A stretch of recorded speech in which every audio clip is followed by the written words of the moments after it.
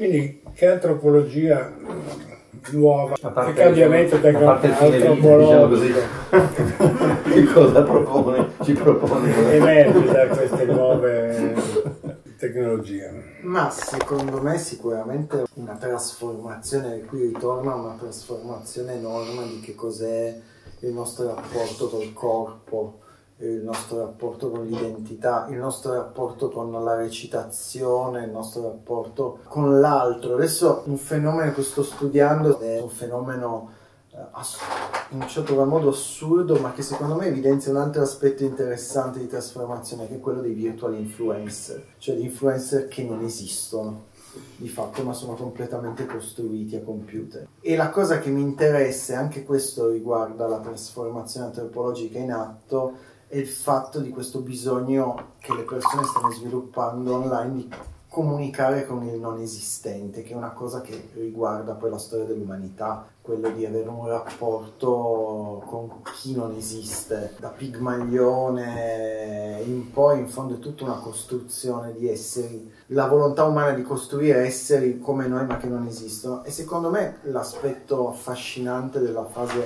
che stiamo vivendo è quella proprio di enfatizzare questa espansione nostra, innanzitutto un'espansione fisica, un'espansione della presenza dell'identità, ma anche una forma, diciamo, di comunicazione con l'altro che va oltre all'altro che esiste fisicamente, ma che soddisfa anche delle fantasie legate al non esistente. Quindi se devo guardare l'aspetto appunto che a me intriga è questo costante renderci sempre più complessi e questa capacità di evolverci con maggiori opportunità nel, nelle relazioni interpersonali e nelle creazioni delle nostre fantasie. E riguardo al corpo, la rilevanza del corpo, questo mutamento antropologico? Il corpo adesso anche in cioè, questo... Possiamo farne meno. Ammetto che sul corpo cioè, non mi sono ancora fatto un'idea totalmente chiara della positività o della negatività di questa trasformazione, però innegabilmente oggi soprattutto le nuove generazioni hanno una concezione del corpo molto diversa. Per esempio, a me è piaciuto, nel, nel, ci ritorno spesso anche nei libri, nelle cose che scrivo che um, si utilizzino il termine, la metafora delle carni digitali. Si parla di carne digitale e non corpo digitale. Carne per dare l'idea della visceralità degli investimenti emotivi in quello che viene fatto online. E c'è sempre di più la predisposizione di creare relazioni in cui il corpo in senso stretto è escluso. Io tengo laboratori di, mm, qui a Torino di realtà aumentate di culture cyborg, eh, comunicazione e culture dei media e mi è capitato spesso mm, di avere studenti o studentesse che mi sottolineano il fatto di dire ma io ho delle relazioni sessuali con persone con cui non ho mai avuto a che fare fisicamente e mi chiedono poi anche in maniera magari provocatoria che male c'è o che problema c'è. Quando mi viene fatta questa domanda dico, boh, uh, non, non, so mai dare una risposta, però mm, più che altro vedo in questa cosa anche lì una trasformazione. C'è in corso un rapporto diverso che probabilmente chiama anche in causa la fase storica che stiamo vivendo della fluidità. Io immagino che ci sia un collegamento con questa epoca in cui c'è questa forte esigenza della fluidità, del non riconoscimento di sé con un genere definito e via dicendo. E le tecnologie da questo punto di vista, emancipandoci dalla presenza fisica in senso stretto, ci permettono di sperimentare. Quindi il corpo non riesco ancora bene a, a capire se rischia di essere messo da parte troppo messo da parte oppure se in realtà rimane ma viene semplicemente ampliato. Su questo io ammetto che lascio un po' aperta la questione perché non ho ancora delle idee così chiare, però certamente anche lì non è più centrale l'idea che se non c'è il corpo di mezzo allora non faccio esperienza. Questo è, è certamente una, un, un momento storico in cui non necessariamente il corpo svolge un ruolo imprescindibile per, soprattutto per generazioni più, più giovani. Come valutare questo? Boh. Secondo te, al di là della valutazione positiva o negativa sulla cosa, che sia una cosa buona o cattiva, diciamo così, se ti sei fatto invece un'idea almeno cioè, solo su questo, nel senso c'è meno corpo o ne stiamo creando di più di corpo? Ecco. A me verrebbe da dire che ne stiamo creando di Anche più.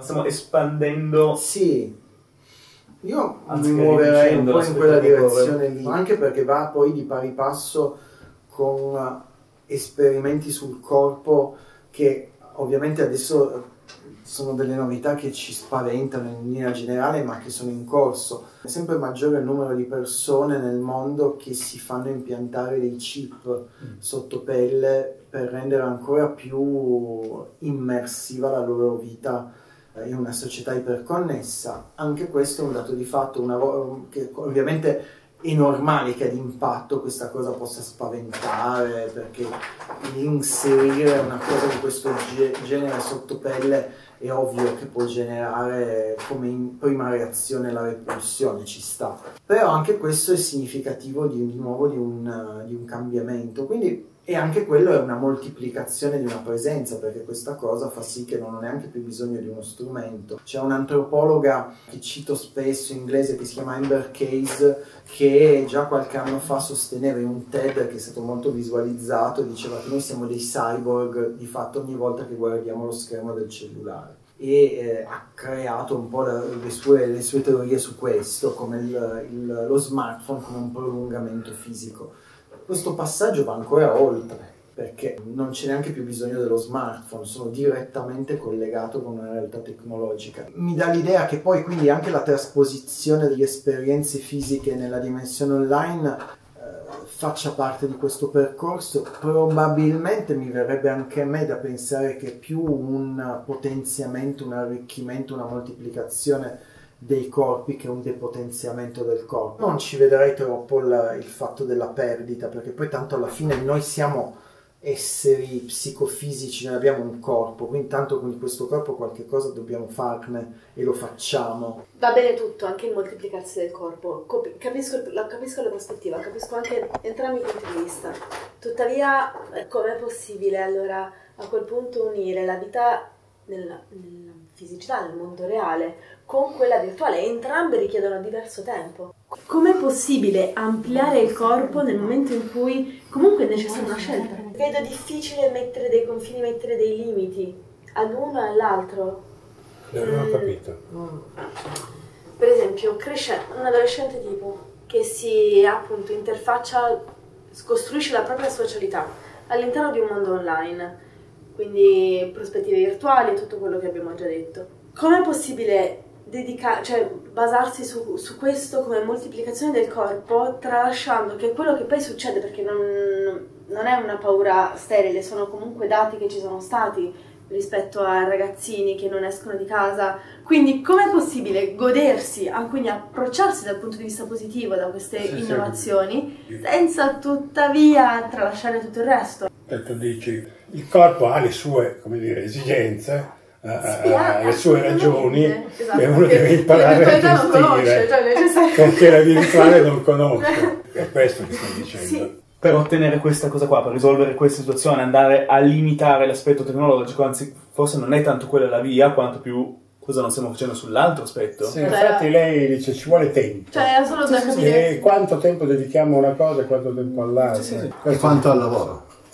No, quello potremmo avere scoperto. Niente, è proprio in gioco anche la questione soggettiva, perché mm, mi verrebbe da pensare, eh, per dire in altre epoche, che questo viene, veniva viene condannato meno perché visto più in senso viene giudicato meglio, ma ci sono eh, ragazzini o ragazzine che non uscivano eh, dalla propria stanza e passano tutto il giorno a leggere e non si è mai capito bene perché quella cosa lì va bene eh, e invece per dire nel- nella- se stai sul videogioco quello non va bene. Mm, in fondo anche passare tutto il giorno chiuso in casa a leggere e a, e a costruire la tua vita sulla base delle proiezioni fantasiose che poni nelle cose che leggi, anche quella è una forma di alienazione. Viene anche da dire questo, che come esseri umani siamo portati alle, alle dipendenze, al fatto che purtroppo il rischio delle dipendenze è dietro l'angolo di qualsiasi tipo. Però possiamo Qualunque dire cosa che che nel sistema educativo la capacità di educare il corpo, di gestire il corpo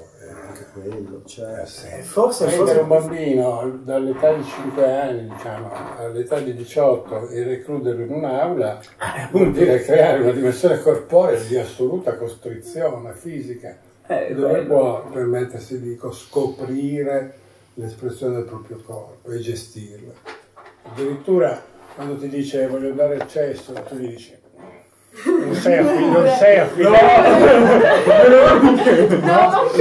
E però pretendi che lui gestisca complessità cognitive quando non lo ritieni neanche affidabile ai suoi bisogni. Voglio dire, è una, è una, è una il corpo è veramente emarginato nell'età proprio della crescita, della, della scoperta di sé. Più Chiaro che, poi lo sbilanciamento verso il virtuale anche- è anche frutto di questa carenza educativa. Da un lato, il corpo è assolutamente poi quello che invece consumato, iperrappresentato e come dire Ah, sì, ipersimbolizzato perché Questo è alla fine, no? quello che rimuovi giustamente ti ricompare lì come tua immagine, scusate la parola, ahimè, alienata.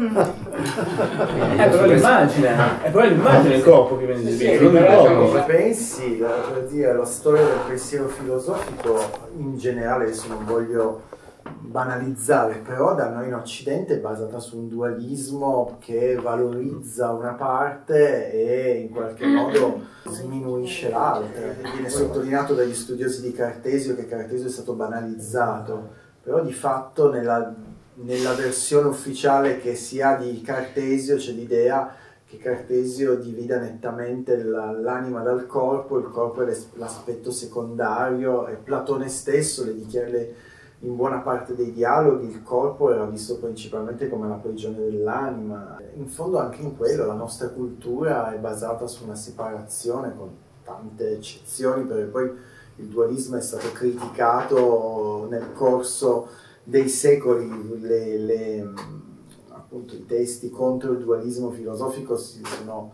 hanno attraversato la storia dell'umanità, però di fatto a livello così molto in superficie resta forse l'aspetto che maggiormente caratterizza l'Occidente, questa separazione, ed è forse anche questo il motivo per cui questo corpo viene sempre messo in secondo piano e arriviamo poi al punto in cui siamo arrivati. Quindi,